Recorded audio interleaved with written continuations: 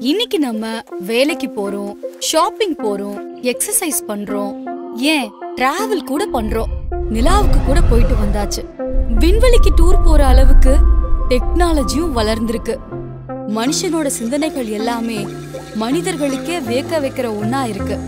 ஆனா தொடர்ச்சியா மனிதர்கள் மூலம் கண்டுபிடிக்கப்படுற புதிய புதிய கண்டுபிடிப்புகள் மட்டும் அதிகரிச்சுட்டே போறதுக்கு என்ன காரணம்? அப்படின்னு எப்பவாதும் யோசிச்சிருக்கீங்களா? மனிதன் எப்படி உருவானா? எப்படி மற்ற உயிர்கள் கிட்ட இருந்து வேறுபடுறான்? உலகம் தோன்றுனதுல இருந்து இன்னைக்கு வரைக்கும் ஏராளமான உயிரினங்கள் அப்படியே தான் இருக்கு. ஆனா மனிதனோட சிந்தனைகள் மட்டும் மாறிக்கிட்டே இருக்கு.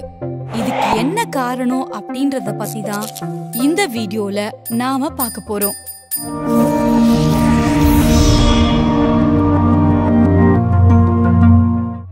இந்த உலகம் பிரபஞ்சத்துல ஒரு துகள். இந்த பிரபஞ்சம் பெருவெடிப்புல உருவாச்சு. அதுல இருந்து பூமி உருவாச்சு. பூமியில ஒவ்வொரு உயிரா உருவாச்சு. மனுஷன் உருவானதெல்லாம் தனி கதை தாங்க இப்போ மனிதன் எப்படி உருவானா? இப்போ வரைக்கும் மனிதன் எப்படியெல்லாம் பரிணாம வளர்ச்சியை அடைஞ்சிருக்கான் அப்படின்றத ஒன்னொன்னா பார்க்கலாம். உலகத்தோட முதல் உயிரினம் கடல்ல தான் தோன்றுச்சு அப்படின்னும் அங்க இருந்துதான் நிலத்துக்கு உயிரினங்கள் வந்துச்சு அப்படின்றது தான் விஞ்ஞானிகள் வரையறுத்த தியரியா இருக்கு. குரங்குல இருந்துதான் மனுஷன் வந்தான் அப்படின்றதும் டார்வினோட தியரி மூலமா நாம தெரிஞ்சுக்கிட்டோம். குரங்குல இருந்து வந்ததா சொல்லப்படுற மனுஷங்க ஹோமோ எரக்டர்கள் அப்படின்னு அழைக்கப்படுறாங்க. பல லட்சம் ஆண்டுகளுக்கு முன்னாடி இந்த ஹோமோ எரக்டஸ் வாழ்ந்திருக்காங்க. அதுக்கப்புறமா தொடர்ச்சியான பல பேரிடர்கள் இந்த ஹோமோ எரக்டர்ஸ்களை அழிக்க காரணமா இருந்துச்சு.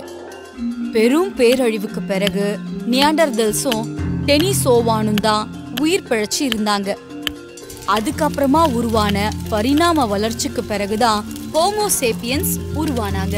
அதாவது நம்மளோட முன்னோர்கள். இந்த ஹோமோசேப்பியன்ஸ் நியாண்டர்தால்களை விட அதிக அறிவோட இருந்ததால நியாண்டர்தால்ஸ வேட்டையாடி அழிச்சிட்டாங்க. இன்னும் சில பகுதிகளில் நியாண்டர்தல்ஸோட கலப்பினமாகி ஹோமோசேப்பியன்ஸ் உருவானாங்க. இந்த உலகம் உருவானப்ப உருவான உயிரினங்கள் மாதிரி தான் நாமளும் உருவானோம். ஆனா மத்த உயிரினங்களுக்கும் நமக்கும் இருந்த ஒரே ஒரு வித்தியாசம் ஆறாவது அறிவுன்னு சொல்றோமே அது மட்டும்தான். அதனால தான் மற்ற உயிரினங்களை தாண்டி மனிதனால வளர முடிஞ்சுது. இந்த ஆறாவது அறிவு எப்படியெல்லாம் வேலை செய்யும் அப்படின்னு தானே யோசிக்கிறீங்க?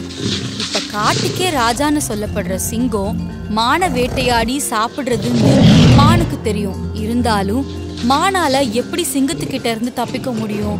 ஏன்னா மானுக்கு சிந்திக்க தெரியாது. அதனால மானால சிங்கத்துக்கிட்ட இருந்து தப்பிக்கவே முடியாது. ஆனா மனுஷன் சிங்கத்தால அவனுக்கு ஏதாச்சும் ஆபத்து ஏற்பட்டா இன்னொரு முறை அது இருக்கிற பக்கம் கூட போக மாட்டான். இப்படிதான் மனுஷன் மற்ற விலங்குகள் கிட்ட இருந்து வித்தியாசப்பட்டு செயல்பட தொடங்கினான். பெரும்பாலான விலங்குகளால கூட்டமா வாழ முடியாது. அப்படிலாம் இல்லையே. பல விலங்குகள் கூட்டமா போறத பாத்திருக்கேனே அப்படின்னு சொல்றீங்களா? அந்த கூட்டத்துல ஒரு வித்தியாசம் இருக்கும். மனிதனை மாதிரி உருவ ஒற்றுமையோட இருக்கிற சிம்பன்சி குரங்குகள் சுமார் ஐம்பது குரங்குகள் சேர்ந்து கூட்டமா வாழும். ஆனா ஆதி மனிதன் சுமார் நூத்தி ஐம்பதுக்கும் மேற்பட்டவங்களோட கூட்டமா வாழ்ந்துட்டு இருந்தான் இதனால அவனுக்கு வேட்டையாடுறதோ அதை சமைச்சு சாப்பிடுறதோ ரொம்ப கஷ்டமானதா இல்ல. இதனாலேயே உணவு சங்கிலி அமைப்புல வேகமா மேல வந்த மனிதன் பல லட்சம் ஆண்டுகளா முதல் இடத்திலேயே இருக்கவும் முடியுது. வேட்டையாடி அப்படியே சாப்பிட்ட உணவுகளை நெருப்ப கண்டுபிடிச்சதுக்கு அப்புறமா சமைச்சு சாப்பிட தொடங்கினான் ஆனா வேட்டைக்கு போக முடியாத காலகட்டத்துல சாப்பிட எதுவுமே கிடைக்கறதில்ல. வேட்டையாடின உணவுகளை ரொம்ப நாள் பாதுகாக்கவும் முடியறதில்ல. இதுக்கு தீர்வு என்னன்னு யோசிச்ச மனுஷன் விவசாயம் செய்யலாம் அப்படிங்கிற முடிவுக்கு வந்தா.